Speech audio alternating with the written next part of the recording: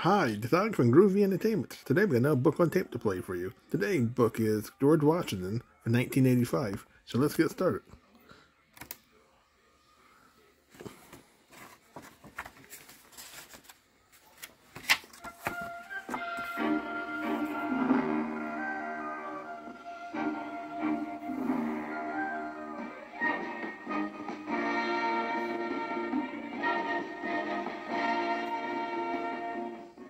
George Washington.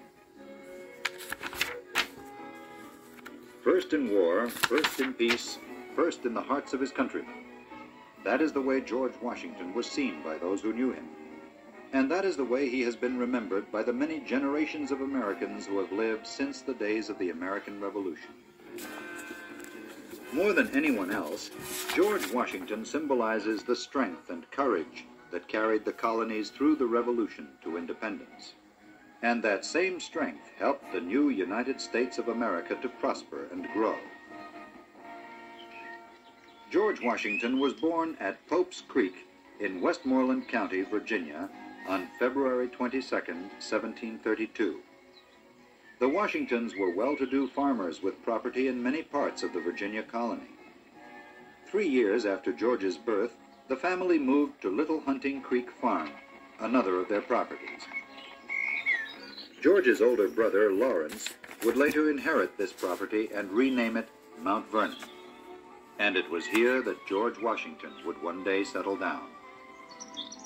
But in 1738, when George was not quite seven years old, his father, Augustine, decided that the family should move again. Their new home was at Ferry Farm.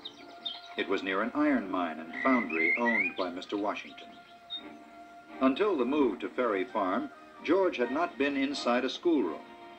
The Washingtons had always lived too far from any school for George to attend. Although he had received no formal education, George had learned to ride a pony, shoot a rifle, and help out on the farm.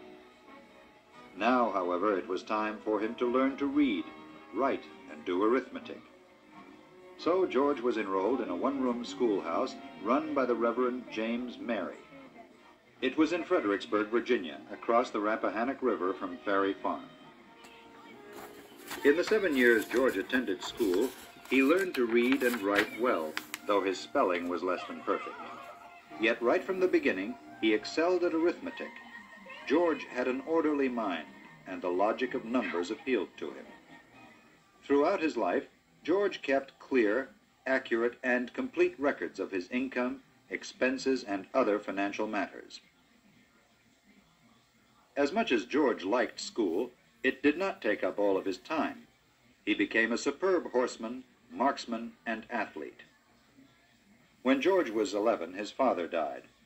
Mr. Washington left many properties to his children, and Mrs. Washington felt that George should prepare himself to be a farmer. So, George was sent to stay with Lawrence at Mount Vernon. Lawrence taught George about planting, managing the farm, harvesting and selling crops, and dozens of other important aspects of farming. He also introduced George to many influential Virginians. When George was 15, he met Lord Fairfax, a wealthy and powerful Virginia landowner. Fairfax liked the quiet, intelligent teenager. He was impressed that George had taught himself to use his father's surveying tools and to draw maps. This gave Lord Fairfax an idea. The Fairfax properties in America extended over the Blue Ridge Mountains and through the Shenandoah Valley, but they had never been properly surveyed. Fairfax proposed that young George accompany the master surveyor on an expedition to survey these lands. George readily took the offer. The survey party left on March 11, 1748, and lasted 33 days. During that time, George kept field notes for the survey. He guided horses across rivers, saw his first rattlesnake, shot a 20-pound wild turkey, and paddled a canoe 38 miles in one day. The trip was very exciting, but more important, the experience changed young Washington's view of life. He had seen forests and rivers and mountains. He had discovered a world that stretched west farther than the eye could see. He had learned firsthand of the richness and vastness of his country. It shaped the way he thought and acted from then on. Over the next five years, George worked as a surveyor of Culpeper County, Virginia. During this time, he made his only trip out of the country, traveling to the British West Indies with Lawrence, who had become very ill. George also managed the family properties and joined the Virginia militia with the rank of major. This was the start of his military career. The British and the French both wanted control of the lands west of the Allegheny Mountains. Each tried to get the Indians to side with them. And when Virginia's governor, Robert Dinwiddie, learned that the French were moving down into the Ohio Valley, he decided to send a group of militia to order the French to leave. Young Major Washington, who had been through the area on his surveying trip, was chosen to lead the party. Washington completed the mission and returned with greater knowledge of the American countryside and advice for Governor Dinwiddie. Washington suggested that a fort be built where the Ohio and Allegheny rivers meet. This is where the city of Pittsburgh, Pennsylvania, is now located. The governor took his advice, and Fort Duquesne was built. Washington was now a lieutenant colonel in the militia. He was ordered to recruit troops to guard the fort and to take command of it. But before he reached the fort with the men under his command, the French destroyed it. After a number of skirmishes with the French, Washington returned to Virginia. These military encounters taught Washington several valuable lessons.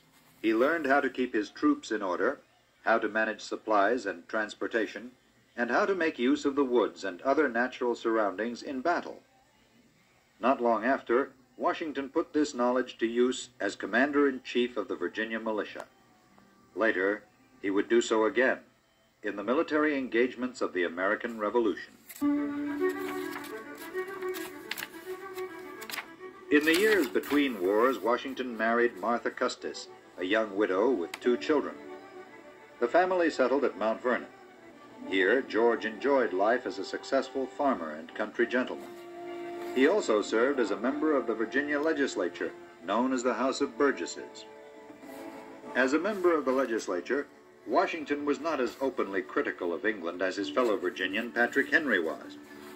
Even so, Washington believed that the colonies should not allow themselves to be pushed too far by their British rulers, and as the tyranny of Great Britain increased in the colonies, Washington began to favor a move toward independence.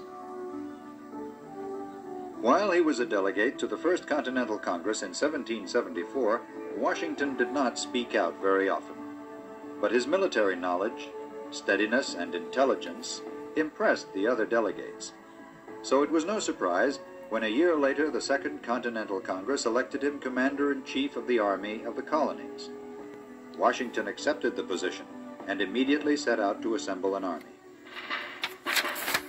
The years of the American Revolution, beginning in 1775 and ending eight years later in 1783, were difficult ones for the colonies. They were especially difficult for the Continental Army. There were never enough supplies or rations for the troops. There was never enough money to pay the soldiers or to buy materials. Without General Washington's patient and brilliant leadership, the Continental Army would most likely have fallen apart and the revolution would have ended in defeat for America. But he wisely kept peace among his generals, lifted the morale of the weary and dispirited troops, and encouraged everyone to fight on after a series of losses to the British troops. At the end of the war, a victorious Washington returned happily to Mount Vernon. He hoped to spend the rest of his life there. But a few years later, his country called on him again. The Articles of Confederation binding the states together were not working well. A new constitution was needed for the young nation. Washington was asked to be president of the convention that would draw up this new constitution. As in the past, it was Washington's gift of leadership that held the convention together and brought the northern and southern states into agreement. These same qualities led him to be chosen as the first president of the United States of America. George Washington served two four-year terms as president from 1789 to 1793 and from 1793 to 1797. In those eight years, he appointed outstanding leaders to posts in his cabinet. Among them were Thomas Jefferson and Alexander Hamilton. Under his direction, the United States government established a national mint and a sound banking system. And when federal troops put down a rebellion of farmers in Pennsylvania, it proved that the central government was strong and would enforce its laws. The federal government under Washington made the first treaties with the Indians, admitted new states to the Union, and established a clear foreign policy. This policy was based on the idea that the new nation would observe good faith and justice toward all nations, but would remain neutral toward all of them. George Washington felt strongly that the young United States needed time to grow, to solve its own problems, and to develop its vast territories. To do these things, he felt, the country had to stay clear of foreign entanglements. In 1797, George Washington returned to Mount Vernon. There, he and Martha Washington enjoyed the most peaceful years of their marriage. Every day, the former president rode around his thriving estate, supervising the work. The Washingtons entertained friends and the many government officials who came seeking the great statesman's advice. However, this happy retirement did not last long.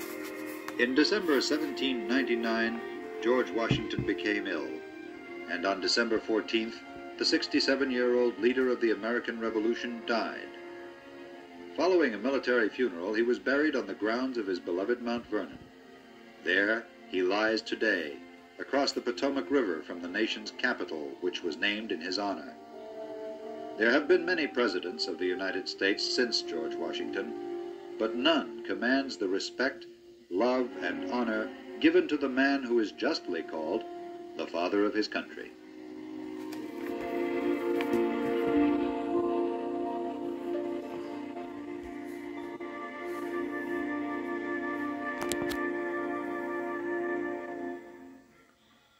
So that was George Washington from 1985. So if you like, subscribe, share, and comment, and have a good day. Our next book will be Patrick Henry.